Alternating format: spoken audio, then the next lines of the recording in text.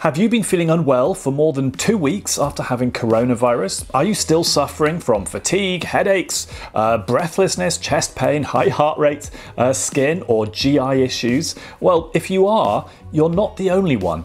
In this film, I'm going to list the top 10 pieces of advice for managing your recovery based on everything we know so far about the virus and its devastating long tail of symptoms.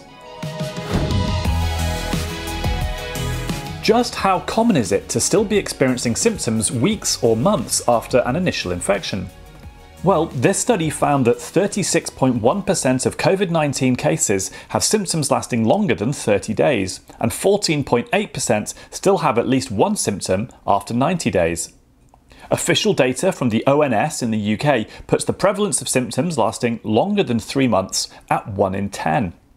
And with tens of thousands of people in the UK and hundreds of thousands of people in the US catching the virus every single day, that's going to be a lot of people suffering from what we're now calling long COVID uh, in 2021. I'd like to hope that some of these tips might even be able to intervene, perhaps in some cases, and turn what might be a 12 month case of long COVID into potentially a three month recovery. I certainly wish that I'd known what we know now uh, when I first got ill with the virus back in March. If you want more information and are fresh to this channel, then I've made a lot of films on the subject. This one describes what long COVID is and some of the misconceptions.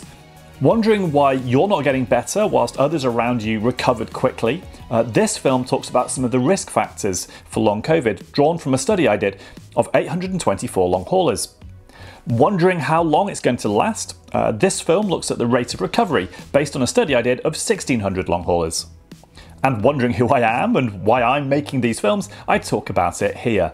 But of course, you're here for the 10 top tips, so let's get cracking.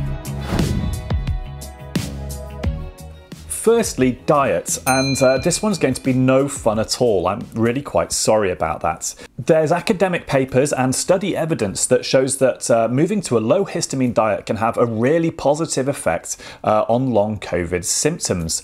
Um, now, so effectively, what that means is that things like tomatoes, avocados, spicy food uh, are all out. I'll put a link to this list of low and high histamine foods in the description. Sadly, and this is a big one, no booze. Um, alcohol is a complete shocker when it comes to long COVID. Uh, I thought I'd been getting a bit better and could risk a 0.5% bottle of low alcohol beer a couple of months ago, and I woke up feeling like I'd been on the mother of all benders. And trust me, I've been on a bender or two.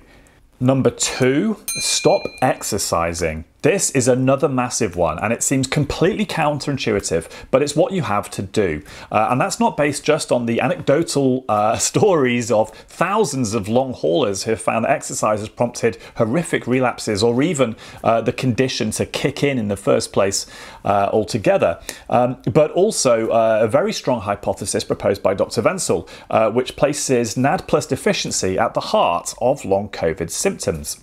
What does that mean? Basically, that the virus has left your energy battery flat. And if you try and exercise too much, uh, your body is going to be forced to use some alternative metabolic pathways that have some unfortunate consequences. Uh, and that sets off a cascade of processes in your body that lead to the long COVID symptoms.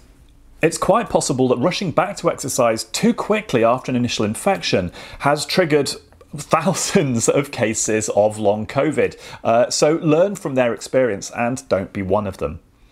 Number three, uh, careful with your cognitive efforts. Now, whilst exercise is a fairly obvious use of energy, you might be surprised at how much energy uh, cognitive effort takes up. And that can constitute uh, desk work, Zoom calls, phone calls, uh, even just faffing about on your phone. A half hour phone conversation can really take it out of you. Uh, what does this mean? Well, number four, uh, you've got to pace yourself. You can't and shouldn't try to work straight through a day like normal. Uh, taking frequent breaks to go and lie down and maybe sleep if necessary uh, are actually really important if you want to avoid a relapse. Pacing doesn't just mean doing less, it also means breaking those efforts up into smaller chunks, uh, however much you're actually trying to do. Imagine that you've got an energy battery that powers you through your day. I'm going to use this bottle of sun cream as an example. Normally, uh, you might expect pre-infection to have 100% worth of energy. Uh, and what that means is that you can spend all of this during your day, go to bed, wake up in the morning, and you're fine. So your activities of daily living, that's shopping, cooking, uh, eating, phone calls, looking after kids, whatever, takes up 30%. You might go for a, a run, you might exercise, that might take another 30 or 40% perhaps. And Maybe you go to bed with some left. That's all great.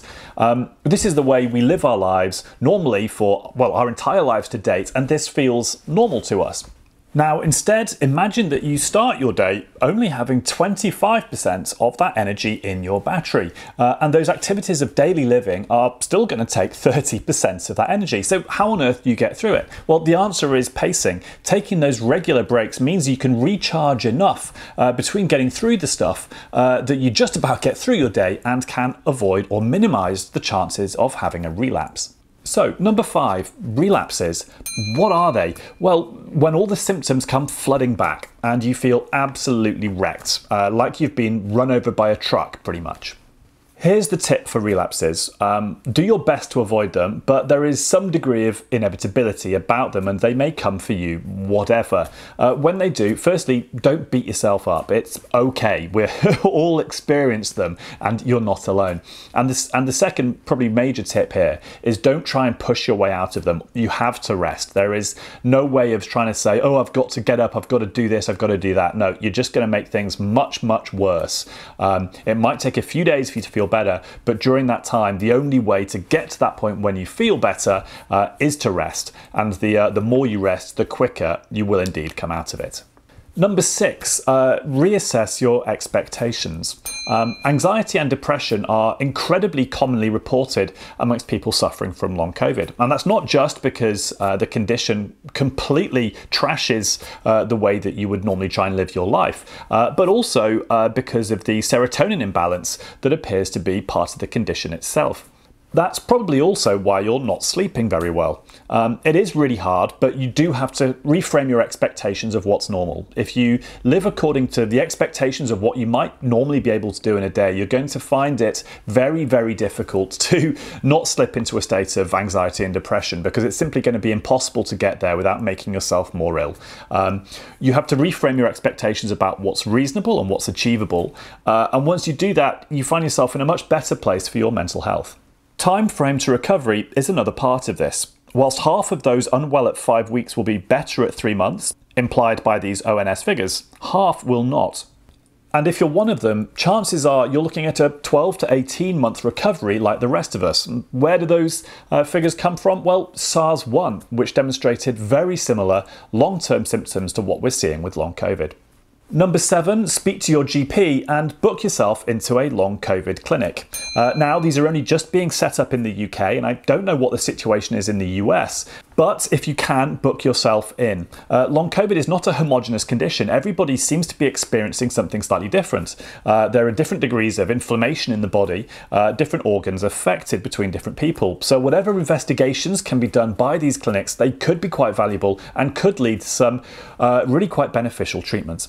Don't expect your GP to be able to necessarily work wonders though. Uh, the most commonly prescribed um, medications for long haulers are antihistamines and SSRIs. Which brings us to number eight, antihistamines. You don't even have to go to your GP. Over the counter antihistamines can make a huge difference uh, to treating some of the symptoms in long COVID. For more details on why, uh, watch this film uh, where I spoke to Dr. Tina Peers about the role of mast cell activation syndrome in long COVID sufferers. Number nine, when it comes to going back to work, don't rush back. Try and stagger your return to work if at all possible. The number of relapses suffered by long haulers who've rushed back to work are too numerous to count. And the same kind of applies to exercise too. Um, when you're starting to exercise again after feeling better, bring it back in very, very gently. Um, again, many long haulers experienced a really severe relapse from going for a really hard workout um, much too soon. I thought I'd leave a really big one for number 10, and that is treatments. And yes, we do now have treatment for long COVID. It starts with a low histamine diet. It may include some uh, prescription or over the counter medications, but there's one part of the puzzle which I've not mentioned yet, which is super important, and that is uh, this stack of supplements. The most important of these is niacin in its nicotinic acid uh, of the flushing variety, if possible. Um, all of these supplements are available over the counter, um, and the dosages recommended by Dr. Wenzel and Dr. Peers uh, I will list in the description. I'll also list the contraindications for niacin. Now, I do have to point out that I am not a doctor and I'm not advocating that you take any of these supplements. Um, if you have any concerns at all, uh, you need to speak to your GP first. With all of that said, I have done a study that has shown really, really encouraging results for the stack and niacin in particular. Um, I'll link to that film here and in the description. If you're wondering why it works, it's because it replenishes your body's store of NAD+, and makes it less reliant on the troublesome metabolic pathways that set off the cascade of symptoms. And before I wrap this up, I'll throw in a cheeky 11th tip, and that is don't be afraid to reach out to a support network, either in person or virtually. This is a really hard thing to go through by yourself, and you may find that many of the people around you find it very hard to uh, empathize with you or understand what it is you're going through because from the outside, it doesn't really make a lot of sense. Find friends and family, people around you who can support you, and perhaps consider joining one of the long haul uh, support groups on Facebook. Now, it pains me to recommend anything to do with Zuckerberg's network of doom, but these Facebook support groups have been a huge help for huge numbers of people. An infection of COVID 19 can take a little while to recover from, and I'm hoping that some of the tips in this film might speed that process up for some of you people out there who've caught the virus recently. Uh, for those of us who've caught it a long time ago and are still suffering, well, perhaps there's a couple of things in here uh, that you've forgotten about that might just help. And of course, this list is not exhaustive. If you've got any tips or thoughts of your own, please do leave them in the comments. There is the wisdom of crowds and all that. Let's try and get 2021 off to a positive start. Till next time.